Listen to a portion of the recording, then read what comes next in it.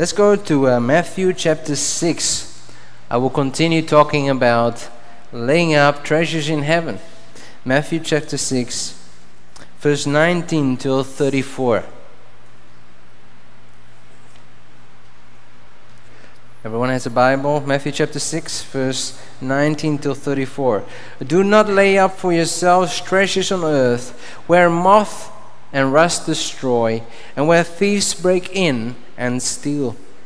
But lay up for yourselves treasures in heaven, where neither moth nor rust destroys, and where thieves do not break in and steal. For where your treasure is, there your heart will be also. The lamp of the body is the eye. If therefore your eye is good, your whole body will be full of light. But if your eye is bad, your whole body will be full of darkness. If therefore the light that is in you is darkness, how great is that darkness?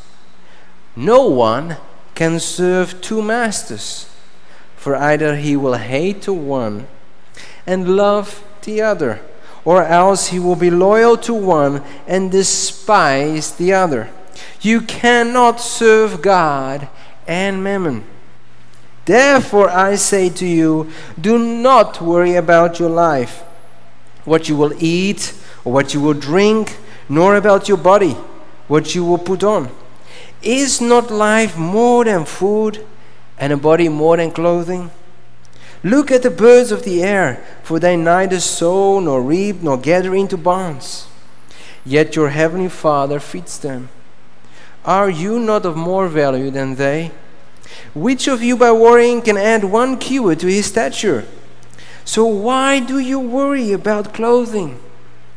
Consider the lilies of the field, how they grow. They neither toil nor spin.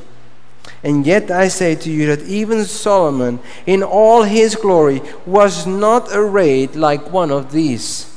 Now, if God so clothes the grass of the field, which today is and tomorrow is thrown into the oven, will he not much more clothe you, O you of little faith? Therefore, do not worry, saying, What shall we eat? What shall we drink? What shall we wear? For after all these things the Gentiles seek. For your heavenly Father knows that you need all these things. But seek first the kingdom of God and his righteousness, and all these things shall be added to you. Therefore, do not worry about tomorrow, for tomorrow will worry about its own things. Sufficient for the day is its own trouble. Let's pray. God, we thank you for your precious word. We thank you for your word of encouragement. We thank you, Lord, for waking us up and reminding us to be focused on you, God. Lord, we can get so busy into the world, but I pray that we will learn from your word today, God. I pray that your word will fall into good ground. Thank you, Jesus. We pray this in Jesus' name. Amen. Last week we talked about, and those who go to home churches, we talked about laying up your treasures in heaven. The challenge was Jesus is challenging us where is your bank account? Is it on earth or is it in heaven? Where is your focus in life? Is it on the things of God or is it on the things of the earth? Worldly things. And Jesus continues talking, verse 25, about the same thing. In 24, he says, No one can serve two masters, for either he will hate the one and love the other, or else he will be loyal to the one and despise the other. You cannot serve God and mammon or riches. It's not possible to serve both. And if you, especially 24 speaks to me because it says here, no one can serve two masters. For either you hate God and love the world, or else you will be loyal to the world and despise God. Or if God is number one in your life, it should read like this No one can serve two masters, for either he will hate the world and love God, or else you will be loyal to God and despise the world. You cannot serve God and mammon. God is challenging us don't try to sit on a fence. Don't try to have both things. It's not possible. You go for God, or just forget about God and do your own thing. We have to make a choice. And Jesus is challenging us again and again who is your God? Am I your God in your life, or is something else your God? Where are you building your account? In heaven or on earth? 25. Therefore, conclusion, I say to you, do not worry about your life, what you will eat, what you will drink, nor about your body, what you will put on. Is not life more than food, and the body more than clothing? Jesus repeats this word worry three times. 25 says, Therefore I say to you, do not worry about your life. 31. Therefore do not worry, saying, 34. Therefore do not worry about tomorrow. God is emphasizing here and telling us, and it's a commandment because in Philippians 4 it says, Be anxious for nothing. It is a sin to worry. It is a sin. And God is saying here three times, He's repeating and He's emphasizing and He's saying, Do not worry. Do not worry. The first time He says, Do not worry about life.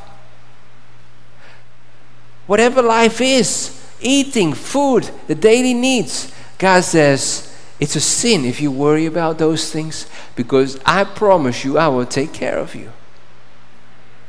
In 31, he repeats it again. Therefore, do not worry, saying, We should not speak about our worries. Because Jesus says, Do not worry, saying. And then it says in 34, Do not worry about tomorrow. We should not worry about our life. We not, should not be worried and start speaking about our worries and concerns. We should give it to God. We should not worry about tomorrow, about when we are 60, when we are 70 years, what is going to happen. No, our trust should be in God. Worry is forbidden, worry is a sin. Six reasons why we should not worry. So I hope it will encourage you not to worry. First of all, when you worry, what do you do? You can't sleep anymore. You think about the same thing. And maybe it's not really a big problem, but in your eyes, it's huge. It gets bigger and bigger. So, it's not good for your health, is it? You get gray hairs, white hair. Huh? You age much faster. You get much more wrinkles. It's not good for you. People get heart attacks just because they worry. That's already reason enough not to worry and to believe the Word of God. Just give it to God. It causes many sicknesses. Worry. Just think about it. The Bible is so practical. God says, Don't worry, so you will live longer and have a healthier life. Do not worry. Give it to God your concerns. Verse 27 it says, Which of you by worrying can add one cubit to his stature?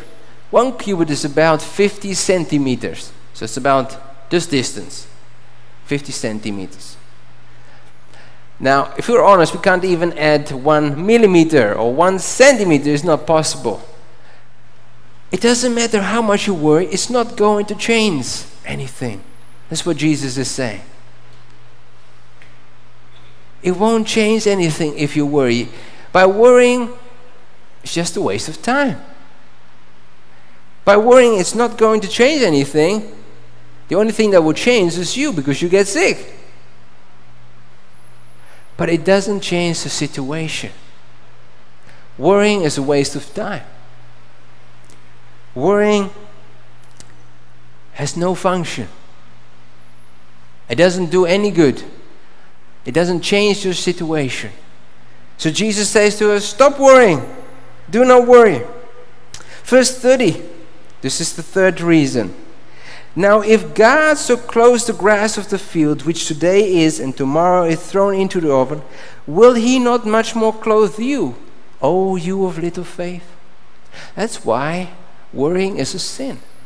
God sees us it as a lack of faith. Because when you worry, what are you really doing? And I will come back to that later.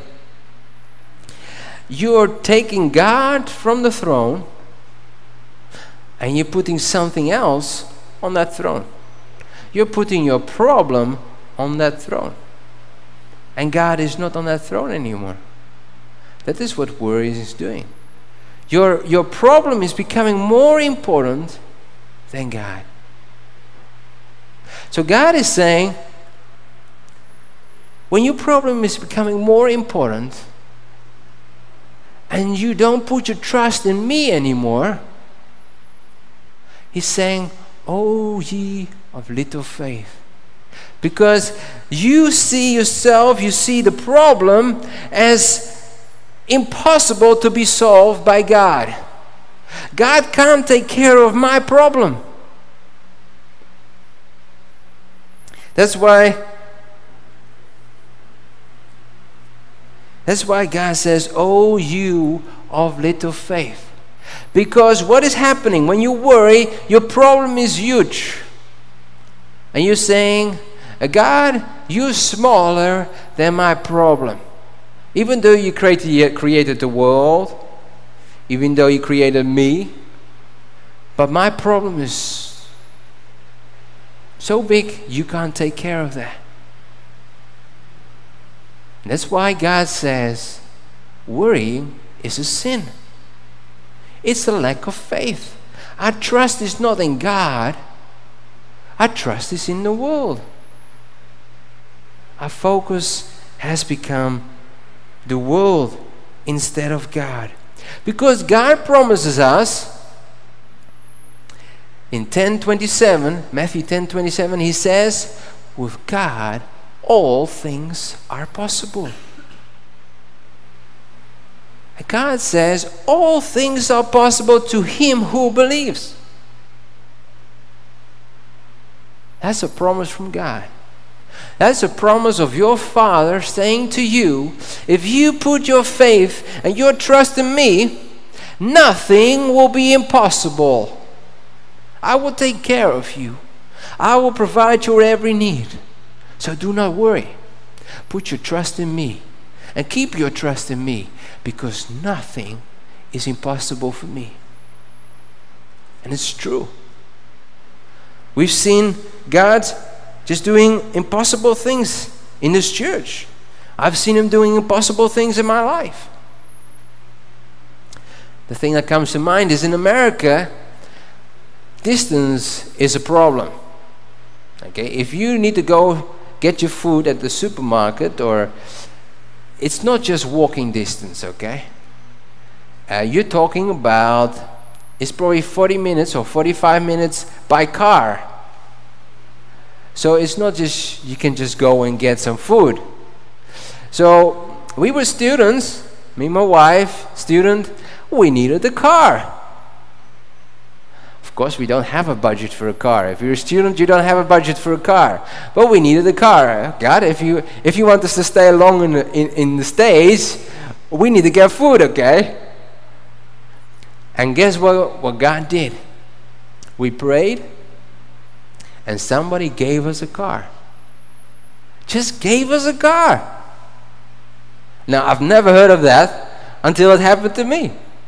Nothing is impossible for God. He knows your needs and He will take care of you. God is awesome. And He loves it when His people totally depend on Him and trust Him no matter what. That's why God says, Do not worry. So, six reasons why not to worry. The first one, it causes you to age much faster. You get wrinkles, uh, white hair. It doesn't help to worry, it doesn't change your situation. Third one, it's a sign of lack of faith, it's a sign of unbelief. Let's go to the fourth reason, verse 32. For after all these things the Gentiles seek, for your heavenly Father knows that you need all these things. Okay, let's go to, sorry, Luke chapter 12, verse 22. The same passage is in Luke, but I want to emphasize something here. Luke chapter 12.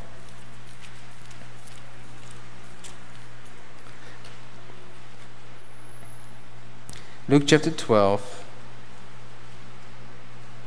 verse 22 till 34. 22 Then he said to his disciples, Therefore I say to you, do not worry about your life, what you will eat, nor about the body, what you will put on. Life is more than food, and the body is more than clothing. Consider the ravens, for they neither sow nor reap, which have neither storehouse nor barn, and God feeds them.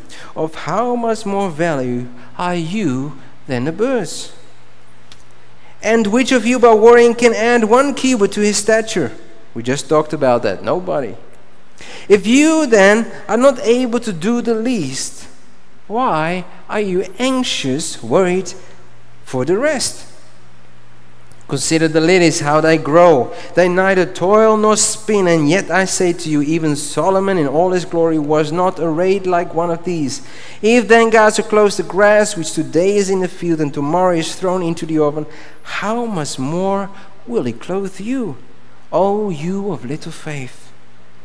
And do not seek what you should eat or what you should drink, nor have an anxious mind. For all these things the nations of the world seek after, and your Father knows that you need these things. But seek the kingdom of God, and all these things shall be added to you. Do not fear, little flock, for it is your Father's good pleasure to give you the kingdom. This is the same passage, but Jesus is adding something here. He's saying, 32, do not fear. When you worry, it's a sign of fear. When you're anxious about something, it is you're allowing fear into your life. Let's go to 2 Timothy chapter 1 verse 7. 7. Timothy was having the same problem. The Apostle Paul is writing to Timothy. 2 Timothy chapter 1 verse 7. It says here Timothy had the same problem. He was fearful of people. He was fearful about what God was calling him to do in the ministry and step out in faith. So, what was he starting to do? He was thinking about pulling back out of fear. Now, let us see what Paul says. Verse 7 For God has not given us a spirit of fear, but of power, of love, and a sound mind. See, fear is not from God, fear is from Satan. If you are fearful about something, it's not from God. Because if God wants to warn you, He will not do it through fear.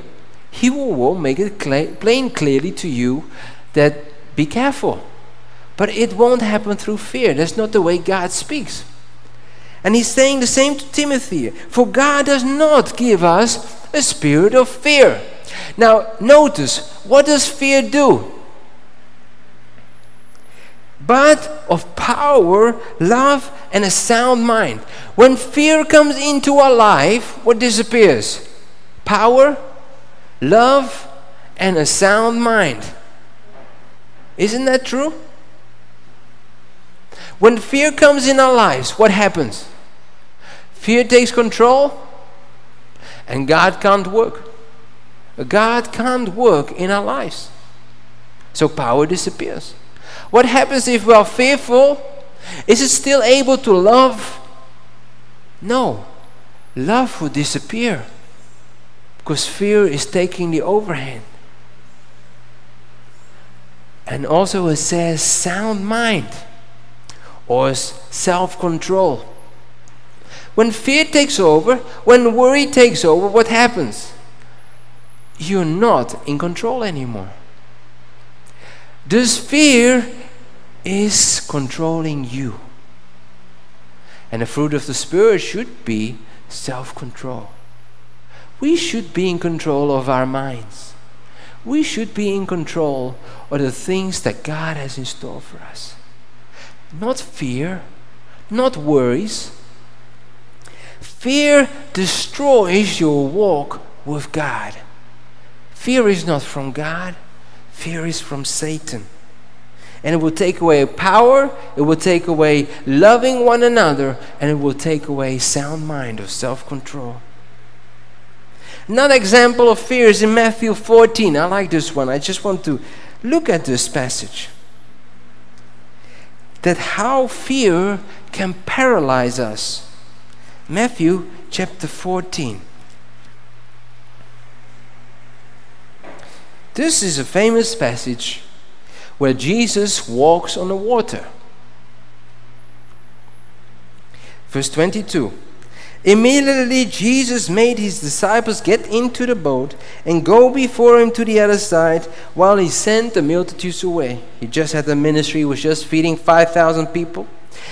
23 And when he had sent the multitudes away, he went up on the mountain by himself to pray. Now, when evening came, he was alone there. But the boat was now in the middle of the sea, tossed by the waves, for the wind was contrary. Now, in the fourth watch, of the night, Jesus went to him, walking on the sea. So, what was happening here? The disciples were crossing the Sea of Galilee, and a storm was hitting the boat, and they were tossed, and they were probably a bit fearful. And while Jesus was praying, he's seeing, oh, they need some help. Let me go and help them.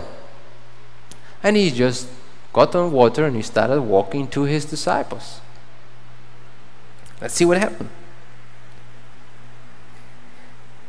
26 And when the disciples saw him walking in the sea, they were troubled, saying, is a ghost! And they cried out for fear. But immediately Jesus spoke to them, saying, Be of good cheer, it is I. Do not be afraid. See? Jesus immediately speaks against fear. Why does he do that? Let us see, because it's going to be repeated again here. And Peter answered him and said, Lord, if it is you, command me to come to you on the water. So Jesus said, Come. And when Peter had come down out of the boat, he walked on the water to go to Jesus. Wow! This guy had faith. He came, Jesus said, Yeah, you can come. So he was really walking on water. Beside Jesus is the only human being I know has been walking on water. Peter was walking on water. Amazing. I know many people put him down, what is going to happen now, but he really walked on water. He stepped out just imagine being in a boat, it's going like this probably. He stepped out in the water and he believed God's word. That takes faith, a lot of faith. Now let us see what destroys his faith. He is walking. Just see him walking. He's walking on the water, just like Jesus. He's walking toward Jesus. 29. So he said, Come. And when Peter had come down out of the boat, he walked on the water to go to Jesus.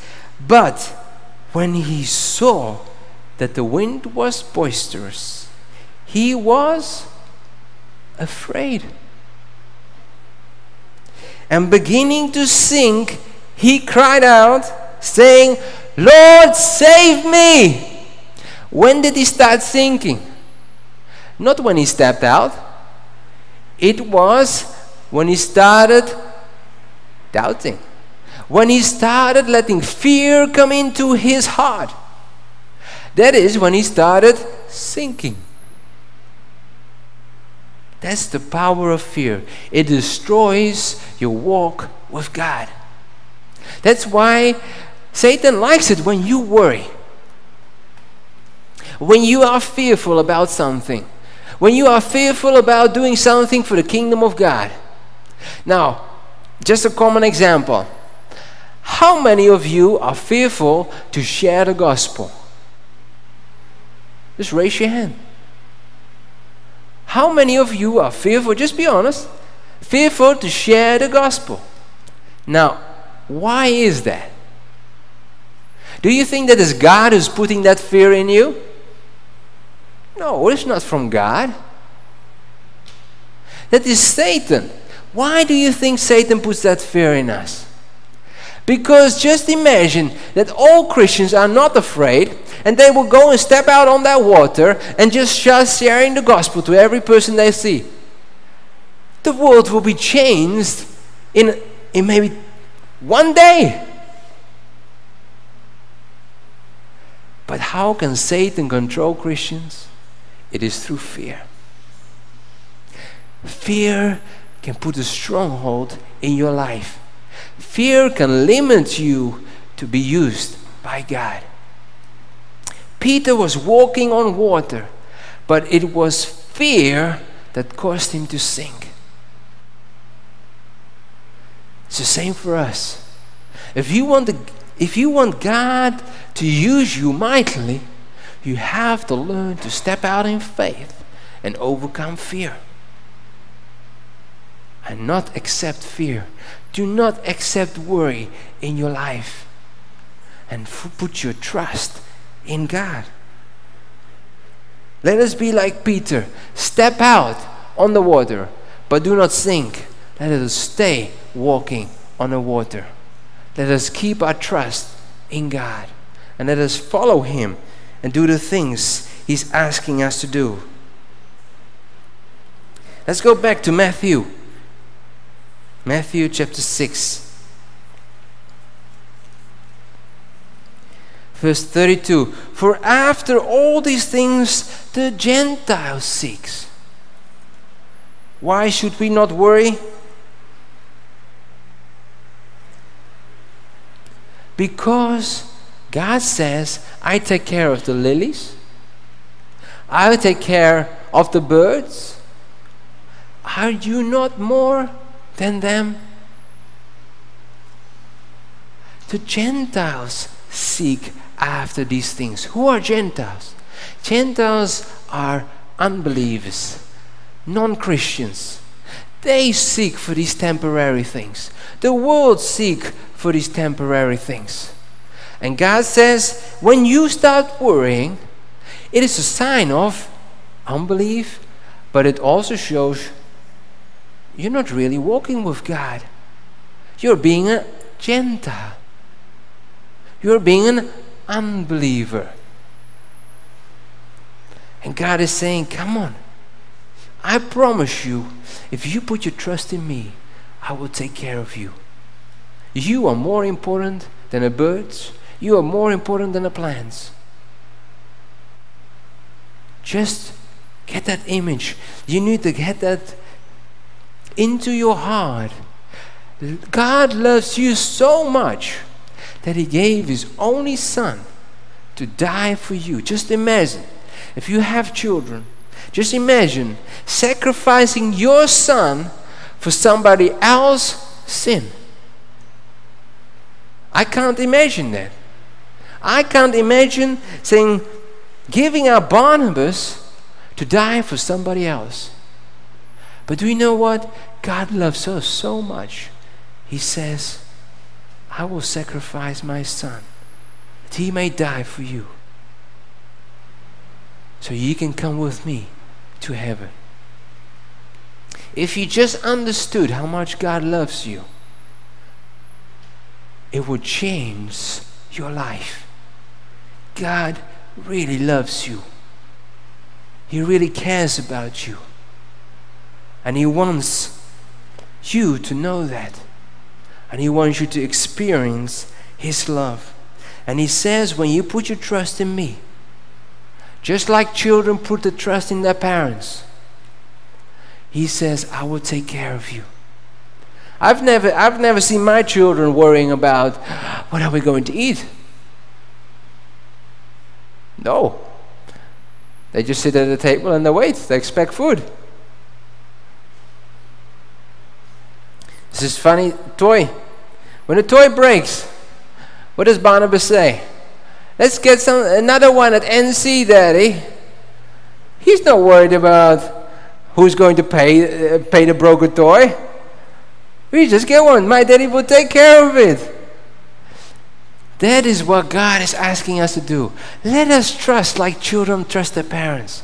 That God says, when He says He will provide, He will truly provide and take care of us. And I've seen it in my life. He will take care of you. It's a matter of faith, it's a matter of trusting Him and giving your faith and putting your faith in God and saying, God, it looks like this is not going to work out. But you tell me to trust you, and I will trust you. And for some reason, it works out. It will work out when we trust Him. That's why He says, Do not worry, because worry is a sign of not putting your trust in Him not knowing how much He loves you and how much He cares about you. Finally, the sixth reason why we should not worry is let's go to Deuteronomy chapter 5. Deuteronomy chapter 5. This is the, the Ten Commandments. Deuteronomy chapter 5.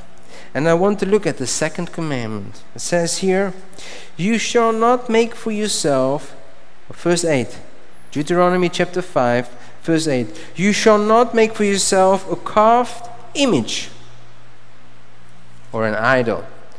Any likeness of anything that is in heaven above, or that is in the earth beneath, or that is in the water under the earth, you shall not bow down to them, nor serve them, for I the Lord your God am a jealous God. Visiting the iniquity of the fathers upon the children to the third and fourth generation of those who hate me, but showing mercy to thousands to those who love me and keep my commandments. Now let us see. God says, I am a jealous God.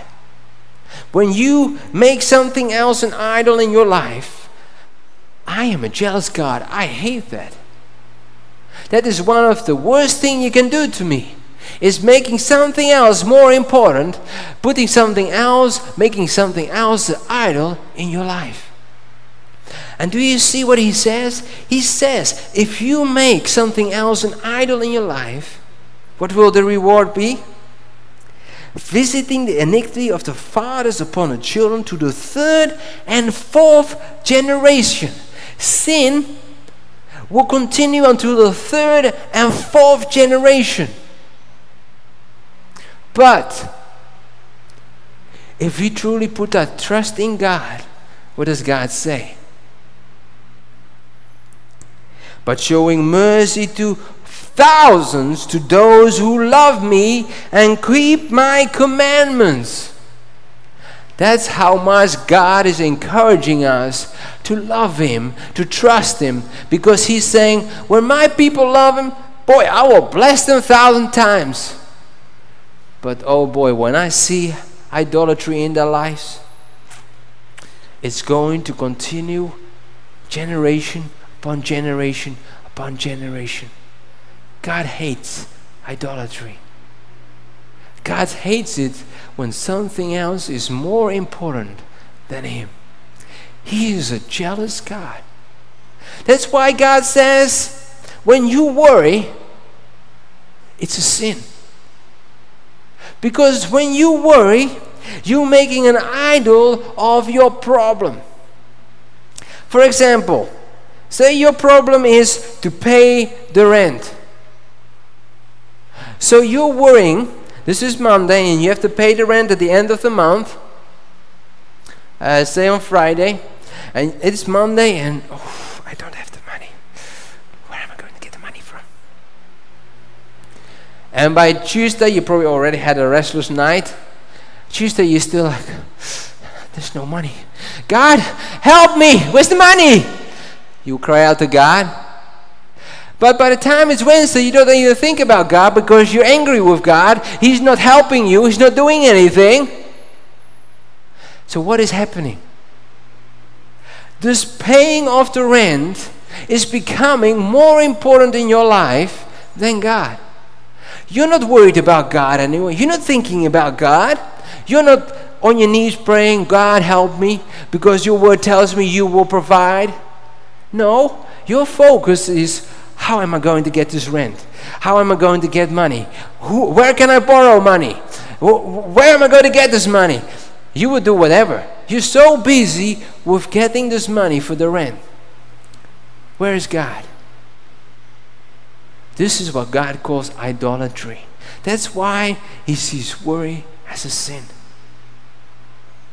In God's eyes, because He is a jealous God, because He wants you alone. He doesn't want to share you with anyone. Just like I don't want to share my wife with anyone. And if you're married, I hope you will never share your spouse with somebody. That's the same with God. God says, when we got to know one another, when we got married to one another, when you gave your life to me, I got married to you, and I expect that you will stay faithful to me. I am not going to share you with anyone else, for I am a jealous God. That's why God says, Do not worry. Because if you worry, it's a sin. And you're making something an idol, something more important than God. And that's why God says, I don't like it when my people worry. So, six reasons why we should not worry. Let's go to verse 3, 33. It says here, This is the reward if we do not worry and how to overcome worry. 33. But seek first the kingdom of God and his righteousness, and all these things shall be added to you. So, how can we overcome worry? We overcome worry by seeking first the kingdom of God and His righteousness. By saying to our worries, You get lost, God is number one in my life. I'm not going to worry about this. God's word tells me not to worry. I am not going to worry. God will stay number one in my life. So, how can you get rid of worries? By keeping God number one in your life. And if you have problems and you feel it's coming again, that worry and Satan is trying to put lies in your mind, focus on God. Worship Him. That's the most helpful thing that I do. When I worry, I just go and praise God. Just focus on God. And as you lift up your voice to God and sing some praises and declare some praises and declare His word, the worries will be gone. The peace of God will come. And as soon as worry tries to come, try to come back, you do it again. God, I believe you're my provider. You will take care of my every need. I'm just going to praise you, God. You're an awesome God. You're my rock and my fortress. And you will see peace will come back again. Because you're putting God number one in your life. You're not accepting any kind of idolatry. You're saying no to any other idol. You're putting God number one. That is the solution to overcome worrying. And do you know the good thing is if we do it God's way, we keep God number one in our life, He will reward us. Listen what he says Seek first the kingdom of God and his righteousness, and all these things shall be added to you. Wow. This should change your whole life. In the world, what do we do in the world? We work hard, our focus is on making money, and we don't care to cheat people as long as we get money and we get richer and richer, bigger house and nicer car, or whatever. But God says that's not the way to do it. God says if you want to really enjoy life, we need to make Him one in our life. Seek first the kingdom of God and His righteousness. And what does this mean? This means that for the rest of our lives, we're not going after worldly things. No, we are going to be busy with the kingdom of God. How can I do things for the kingdom of God? You ask yourself, ask God in your heart, Lord, how do you want me to seek the kingdom of God and His righteousness? What do you want me to do for your kingdom and glory? And then, if He tells you to do something, whatever it is, being a home church leader, uh, helping out with the prayer meeting, whatever God is asking you to do, you do it. When you make that your priority in life, serving God, God promises us you will never have to worry. He will take care of your every need. And He says, every need, not just a few of them, every need. Do you notice those words? Maybe we have to read it again. He says here, seek first the kingdom of God, so not second, how do we do it in the world? We, well, God, when we have time for you, we will seek you, okay? Oh, if I have time, I will do things for your kingdom. No, no. God says, uh, seek first the kingdom of God and his righteousness, and all these things shall be added to you. All these things. God is promising us when you are truly serving God and your focus is pleasing God, are you making Him number one in your life? He promises us that this His promise that He will take care of our needs. Wow. What better can what better deal can you have? The world doesn't give us that promise. But God says, who owns heaven and earth, whose streets are of golden, who gates, who gates are with pearl, doesn't seem to have a money problem. He promises us that if we keep Him number one in our lives and we serve Him to the fullest, as we know, as God is speaking to us, it is for different for everyone. But as we seek Him and we serve Him as best as we know, then God says, You do not have to worry because I'm going to take care of all your need. It's that simple. So all you have to do is make Him a priority. Do the things of His kingdom. We have many people come to the church and they say, Pastor, I need help. I need to pay electricity bill. I need to pay my rent. And then I tell them, Are you seeking? What are you doing for God? I'm not doing anything for God. But I expect God to take care of them. But they don't go to a prayer meeting, they don't go to a home church, they don't. See? They're turning the way around. They're telling God what to do. But God doesn't like to be told what to do. God is God.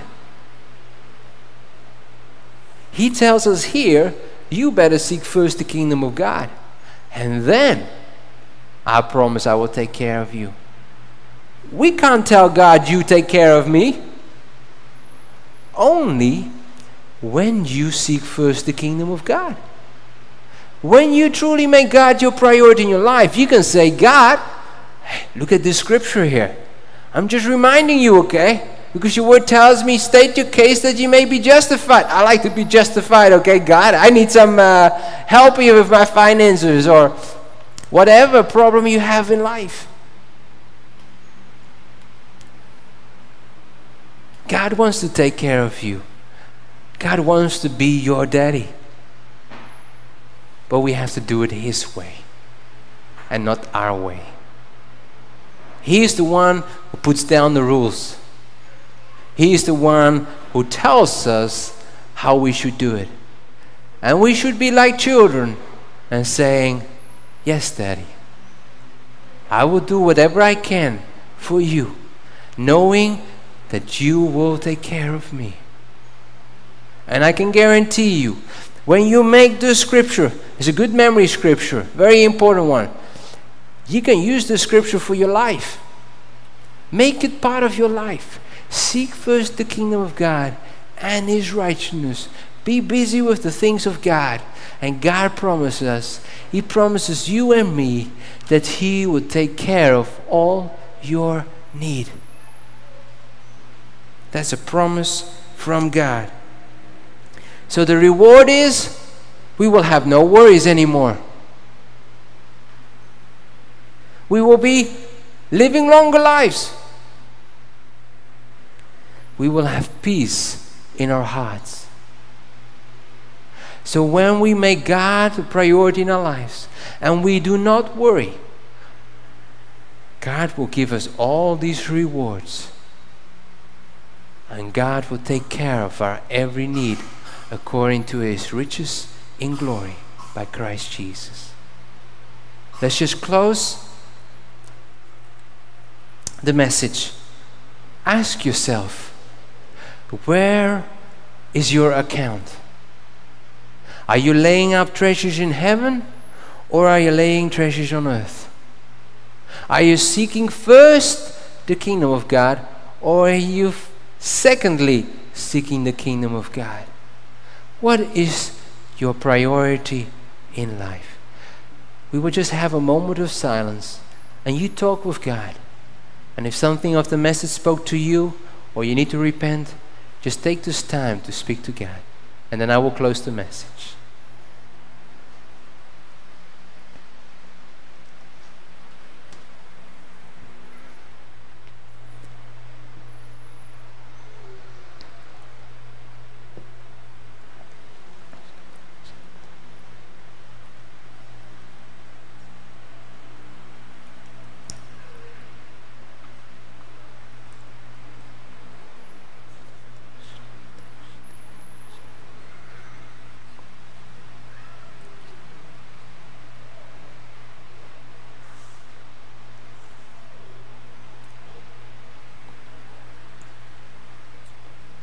Lord, we thank you for your word.